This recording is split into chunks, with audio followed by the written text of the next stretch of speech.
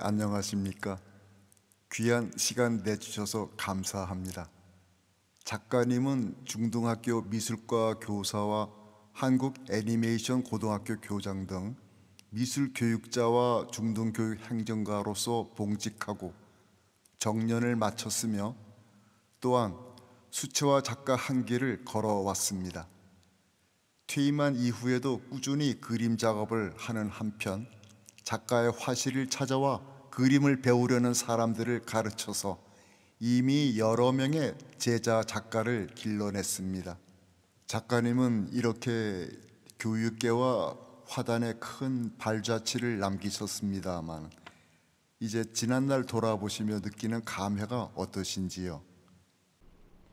학기에 봉직할 때는 그 미술 선생이 별 볼 일 없는 교과인데 팀 오고 나서 이렇게 또 작가 생활하고 또 화실에서 또 회원들도 이렇게 가르치고 하는 그런 그 예, 지금 노후를 잘 보내고 있습니다. 그런데 에, 내가 그 학교에서 지금 생각해 보면 말이야. 학교에서 그냥 미술 선생을 한 게 아니고 수업 시간에 그림 잘 그리는 애들을 뽑아서 그 잘 그리는 애들 조금만 더 잘 가르치면 더 잘 그릴 텐데 하는 마음이 있어서 그 학생들 몇 명을 뽑아서 미술실로 와라. 방과 후에 6교시 다 끝나면 미술실로 와라 해놓고서 그림을 가르치기 시작했어요. 그때 이제 아이들도 그때 이제 내가 수채화를 가르치고 아이들도 배우고 하면서 그림을 잘 그리게 만들고 또 그렇게 함으로써 어 지금 그 그때 그 아이들 가르치는 그 과정을 또 사진도 찍고 슬라이드로 만들고 또 해서 그걸 또 무슨 미술 교육의 연구 자료로 마, 만들고 또 연구 논문도 쓰고 그래가지고 어, 교직 생활에서 뭐그 승진이 어느 데도 많이 도움이 되고 했던 게 많이 나한테는 그 도움이 된 것 같습니다. 예. 그래서 그 어, 그러한 그 그림에 대한 그 열정이라 그럴까 그런 게 있어가지고 퇴임하고서도 학생들은 다 끝났지만 그림을 가르쳐야 되겠다 하는 그런 생각으로 어, 이렇게 지금 오늘날 화실에서 그림을 에, 어른들을 가르치게 된 것 같아요. 네. 고마운 일입니다. 30년 전 1992년에 작가님이 주도하여 지역 수채화 작가 10명이 모여서 수원 수채화 협회를 결성하였으며 이를 계기로 수원 지역 중심으로 수채화 화단 발전에 큰 기여를 하였습니다. 많은 사람들이 작가님을 수채화 전도사라고 얘기하고 있습니다. 어떻게 생각하십니까? 수채화 전도사, 예, 전도사라 이 수원 쪽에서는 내가 수채화 전도사라고 하는 게 조금 그래도 맞을지 몰라요. 그 재밌는 얘기인데 수호 그 당시 이 사람이 그 수채화를 그릴 때만 해도 수원 지역에서는 수채화 그리는 작가들이 별로 없었어요. 있어봤자 유화를 같이 수채화하고 유화하고 같이 이 그리는 작가가 몇 명 있었고 수채화만 전담으로 그리는 작가가 없는 그, 그, 그 시절에 한국수채협회를 내가 87년도에 한국수채협회를 가입했어요. 가입했는데 한국수채협회에 가보니까 다른 지역에는 수채협회가 있어요. 그래서 뭐 강릉 수채협회라든가 어, 대전, 대구, 부산 뭐 이런 수처협회가 있는데 우리 수원에만 없는 거예요. 수원이 경기도의 수부인데 야 안 안 되겠다. 수원에도 수처협회를 만들어서 수채화를 더 널리 보급해야 되겠다 하는 생각에 그때 이제 수채화 수원 수채협회를 92년도인가 그때 아마 창립을 하게 됐어요. 그래서 어 가장 먼저 어 수채화 보급을 하게 된 동기가 그래서 이렇게 되지 않았나 생각을 합니다. 10명 회원으로 시작된 수원 수채화 협회가 지금은 110여 명의 회원을 가진 사단법인 경기 수채화 협회로 발전하였습니다. 작가님은 현재 경기 수채화 협회 고문으로 계속 협회를 지키고 있습니다마는 창설 당시와 비교하여 드는 느낌 어떠신지요? 옛날 생각하면은 대단한 발전이죠. 예, 지금 경기 수채화 협회 하면은 지금 뭐 한국에서 아마 아, 한국 수채화협회 다음으로 큰 단체일 거예요. 그리고 뭐 수채화대의 그 작가에 대한 자부심도 굉장히 그 회원들이 크고 너무나 참 아, 감회가 새롭고 감사한 일입니다. 우리가 처음에 결성할 때는 겨우 10명, 92년도에 처음 모집을 했는데 그것도 수채화를 잘 그리든 못 그리든 무조건 수채화를 좀 그린다 하는 사람들을 전부 모아봤는데 딱 10명이에요.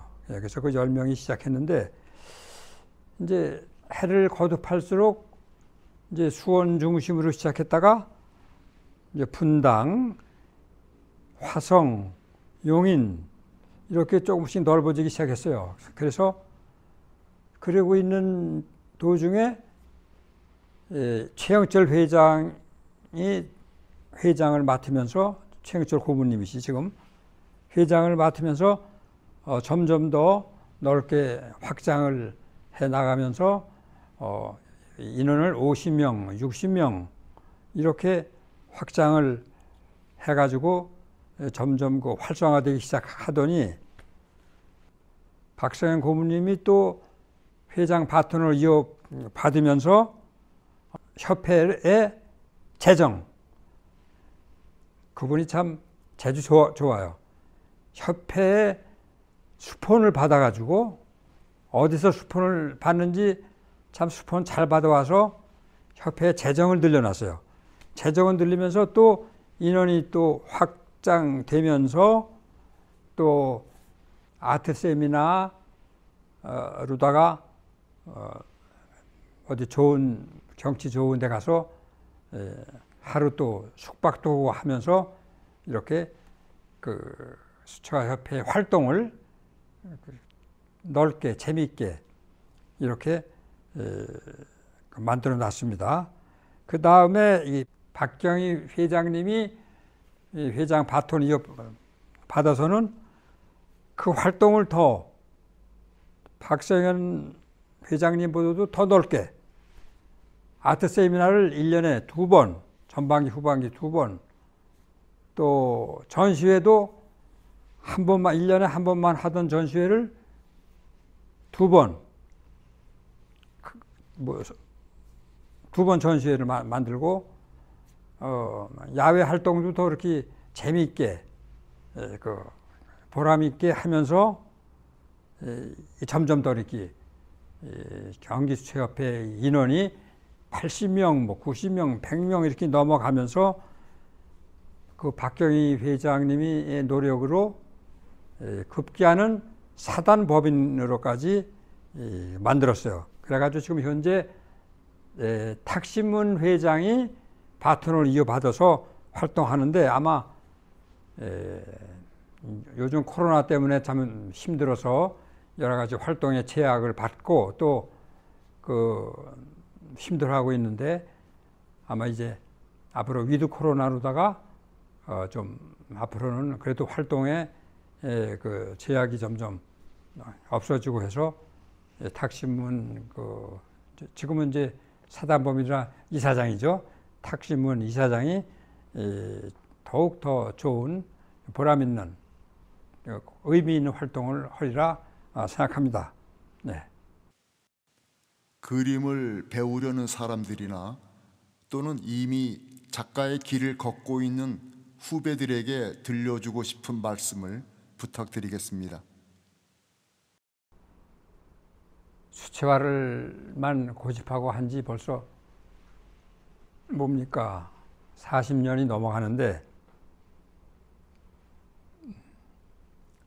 후배들이 참 많이 지금 어, 수원 지역, 경기도 지역, 뭐 전국적으로 지금 수채화 인구들이 많아요.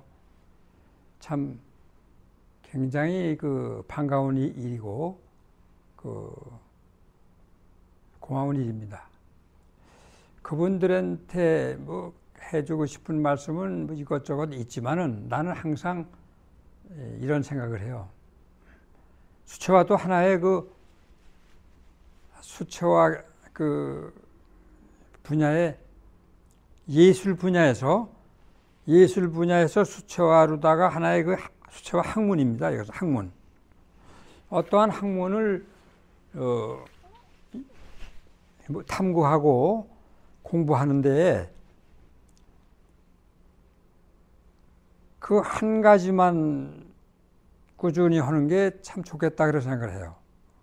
왜냐하면 솔직히 우리 지금 현재 회원들 중에서도 한 가지만 하지 않고 이것저것 하는 회원들이 있어요. 그런 사람한테 하고 싶은 말은 나는 내 경험으로 봐서는 수채화만 하시오 하고 싶어요. 수채화만 하시오. 왜냐하면은 주위에서 보면은 주위에서 주위에서 보면 이것저것 하는 사람들이 있는데 이것저것 하는 사람들하고 지금 같이 이렇게 나이만 먹고 지금 이렇게 세월이 이렇게 지나는 동안 보면은 그 분야에 대해서 어느 하나 이렇게 뜨는 사람이 없어요. 그러니까 이것저것 하니까 맨날 고만고만 해요. 맨날 고만고만 하니까 어느 한 분야 팍 뜨질 못하니까 후배들이 그 후배들이 또 볼 때 후배의 후배들이 볼 볼때 예, 그 사람은 그 작가는 그냥 그 그런 작가야 하고서 그 별 그렇게 인정을 하지 않, 않습니다. 이게 안타까워요. 그러나 하나만 계속해서 이 탐구하고 공부를 하는 그 자, 작가는 반드시 뜹니다. 떠요. 떠서 그 분야에서 인정을 받아요. 그래서 어떤 분야 뭐, 뭐 수출화뿐만 아니라 유화든지 서예든지 무슨 다른 분야든지 그 분야만 한다면은 계속 한다면은 그 분야에서 인정을 받는데 이것저것 하지 말라. 저는 그 말씀을 그 후배 작가들한테 당부하고 싶습니다. 네. 그렇습니다. 2022년 새해를 맞아 작가님의 계획이나 바라는 소망 등이 있으면 말씀하여 주실까요? 인생에 있어서 완성은 없어요. 완성. 인생은 그러니까 인생에 있어서 완성이 없다는 것은 예술에 있어서도 완성이 없다. 나는 이렇게 생각합니다. 그러면 뭐냐? 과정만 있을 뿐이다 이거예요. 과정. 언제나 과정만 있을 뿐이에요. 인생도 그래요. 뭐, 뭐 인생이 세상에서 살다 죽으면 끝이다. 그러는데 사실 이 인생 이 우주의 법칙은 인생도 하나의 우주의 법칙인데 끝이 없, 없잖아요. 그러니까 그런 그런 차원에서 보면 인생도 끝이 없는 거예요. 죽음도 과정이요. 예, 죽음도 과정. 안 그래요? 우리가 태어난 것도 과정이라면 죽음도 과- 인생도 과정이요, 죽음도 과정이에요. 그러니까 우주의 그 원리에 입각해서 생각을 하면은 모든 게 과정이다 저는 이렇게 생각합니다. 그래서 예술도 그림도 과정이다. 이거 그래서 그 과정 속에 그 과정 속에 감동이 있는 거고 그 과정 속에 행복이 있는 거고 그 과정 속에 아름다움이 있는 것이지 그것이 그냥 이렇게 흐름 속에 있는 거지. 뭐 저 멀리 행복이 있어서 거기 행복 찾아간다? 아닙니다. 행복은 지금 현재일 수도 있고 어제 행복할 수도 있고 그것은 항상 있는 겁니다. 항상 과정이다. 그 말이에요. 그래서 에, 그런 생각으로다 나는 그런 생각으로다가 올해 2022년도도 어, 늘 과정 속에 있는 사람으로서 늘 배우고 늘 탐구를 하는 그러한 그 어, 그림을 그리고 싶고 수채화도 단순한 것 같지만 지금까지 그리다 보니까 그리면서 보니까 참 어려워요. 한이 없어요. 한이. 그래서 난 그 회원들한테도 그런 말 해요. 수채화가 이게 끝이 없는 학- 학문이다. 난 지금까지도 수채화를 더 배우고 싶고 더 공부하고 싶은 마음뿐입니다. 난 그래요. 그러니까 금년도 나는 과정 속에서 내 그림 그리면서 내 그림 공부하면서 어, 그렇게 언제나처럼 그렇게 에, 생활하고 싶고 그렇게 에, 앞으로 작품을 하고 싶습니다. 네, 감사합니다. 감사합니다. 작가님 새해 복 많이 받으시고 건강하시며 뜻하신 대로 다 이루시기를 바랍니다.